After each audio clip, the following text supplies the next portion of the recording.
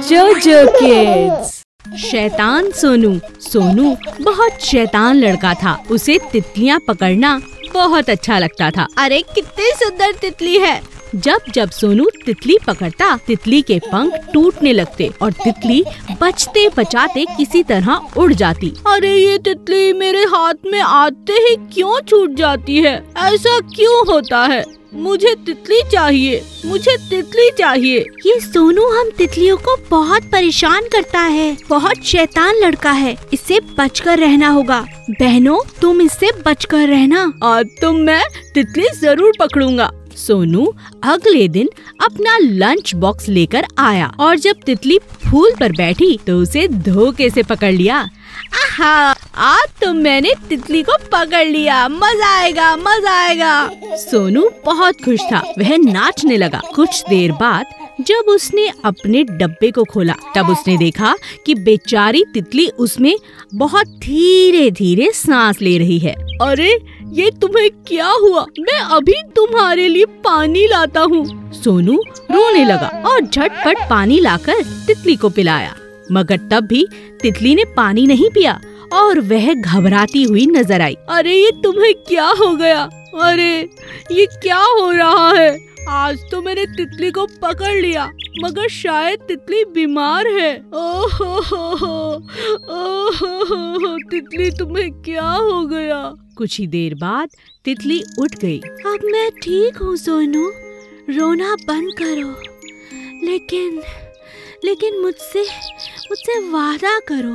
अब कभी तुम किसी तितली को कहीं बंद नहीं करोगे कभी नहीं पकड़ोगे। वादा करो। मगर क्यों? और अचानक तुम ठीक कैसे हो गई? सोनू हम तितलियों का शरीर बहुत नाजुक होता है। हमें अगर कोई छूता है तो हमारे पंख नाजुक हो जाते हैं और टूटने लगते हैं। और तुमने तो मुझे डब्बे में ही बंद कर दिया। मैं बिना सांस लिए कैसे रह सकती हूँ? तुम ही बताओ, क्या तुम बिना सांस लिए ज़िंदा रह सकते हो? अगर कुछ देर और तुम मुझे इस डब्बे में बंद रखते तो शायद आज मैं ज़िंदा नहीं बचती। ये तो मैंने कभी नहीं सोचा। सॉरी तितली मुझे माफ़ करो। अब मैं कभी ऐसा नहीं करूँगा। कभी किसी तितली को नहीं पकड़ूँगा। तुम ठीक हो ना? हाँ मैं ठीक हूँ। और उस दिन के बाद सोनू ने अपनी शैतानी छोड़ तितलियों से प्यार करना शुरू कर दिया। कबूतर चींटी और तोता। एक समय की बात है। एक कबूतर था। उसे उड़ना नहीं आता था। उड़ने से बहुत डरता था। सब कबूतर उससे बहुत परेशान हो गए थे। पास ही में एक शरारती तोता वहाँ रहता था। वह हमेशा कबूतर को चिढ़ाता रहता। तुम कितने डरपोक हो? कैसे हो तुम?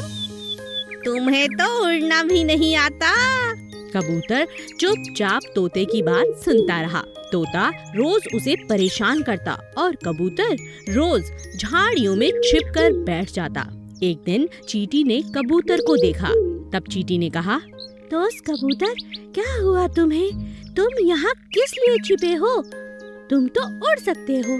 तो यहाँ झाड़ियों में क्या कर रहे हो? किससे डर रहे हो? चीटी जी, पास ही में एक दुष्ट तोता मुझे परेशान कर रहा है।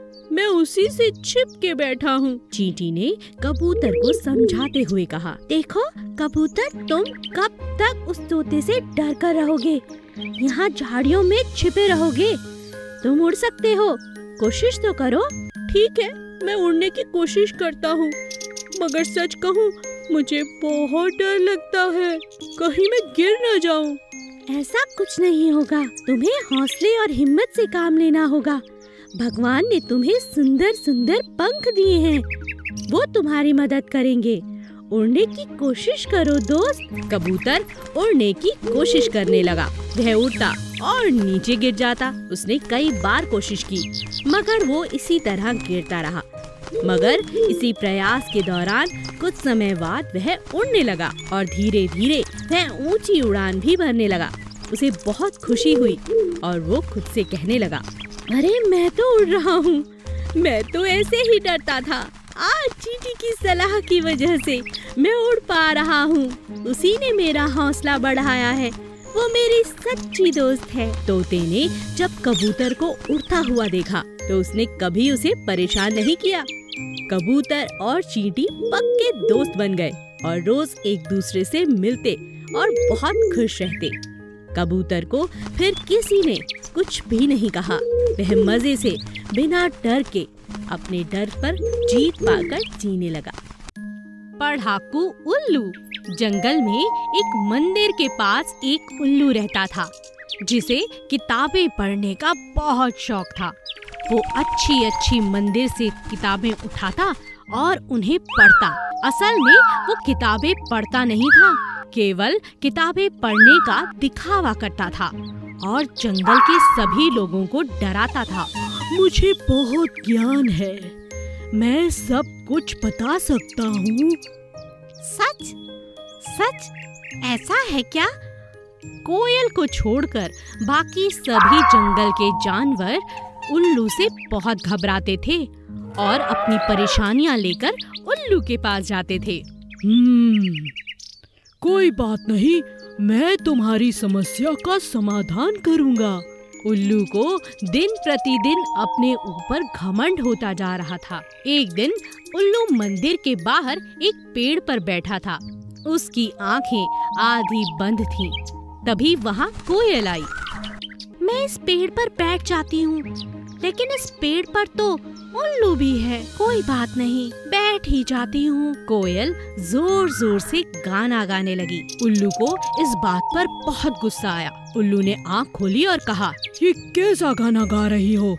अपना गाना बंद करो। उल्लू जी आप कहीं और चले जाओ। मैं तो यहीं बैठकर गाना गाऊँगी। उल्लू को बहुत गुस्सा आया। क्या तुम देखती नहीं? मैं अभी पुस्तक पढ़ रहा हूँ। मैं बहुत बुद्धिमान हूँ। तुम्हारा गंदा सा गाना मैं और बर्दाश्त नहीं कर सकता। मूर्ख उल्लू आप मुझे नहीं बना सकते। मैं जानती हूँ किताबें पढ़कर तो समझदार बनते हैं मगर तुम बहुत घमंडी हो। उल्लू को और गुस्सा आया। तुमने मुझे मूर्ख कहा? तुम नहीं जानती मैं पक्षियों में सबसे बुद्धिमान हूँ। और तुम मेरे साथ बहस कर रही हो? तुमने मेरे गाने का मज़ाक उड़ाया। केवल बुद्धिमान ही जानता है कितना मधुर गाना गाती हूँ। सिर्फ़ बुद्धिमान होने का नाटक करते हो। तुम बुद्धिमान हो नहीं। उल्लू को इतना गुस्सा आया कि उसने कोयल पर झपट्टा मारा।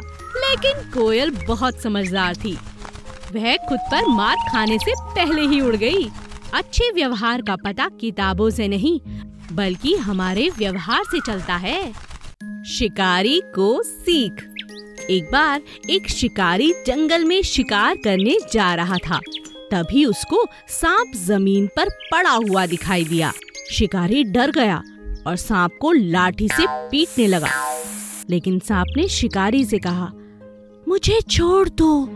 अगर तुम मुझे मारना चाहते हो तो तुम मुझे मार सकते हो, लेकिन इससे पहले मुझे सभी से कुछ जानना है। मेरी एक अंतिम इच्छा है। शिकारी को अचानक सांप पर दया आ गई और उसने कहा आखिरी इच्छा? क्या है तुम्हारी आखिरी इच्छा? मैं जानना चाहता हूँ कि मनुष्य किस प्रकार के होते हैं। मगर उसमें तुम्हारी मैं कोई मदद नहीं कर सकता। आप केवल मुझे कुछ देर के लिए ज़िंदा छोड़ दीजिए। मैं कुछ जानवरों से इस बारे में जानना चाहता हूँ। ठीक है मगर उसके बाद मैं तुम्हें छोड़ूँगा नहीं। ठीक है। और इस तरह शिकारी ने सांप से वादा ले लिया। कुछ ही देर बाद वहाँ से एक गाय गुजरी। सांप ने गाय से पूछा प्यारी गाय आप मुझे बताएँ इंसान कैसा होता है? वह अच्छा होता है या बुरा?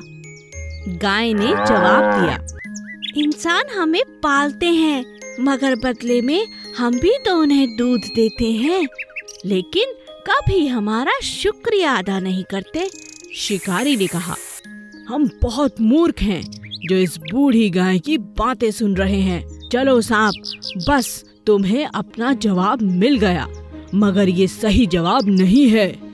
तो क्यों ना मैं आते हुए बैल से ये प्रश्न कर लूँ? ठीक है कर लो।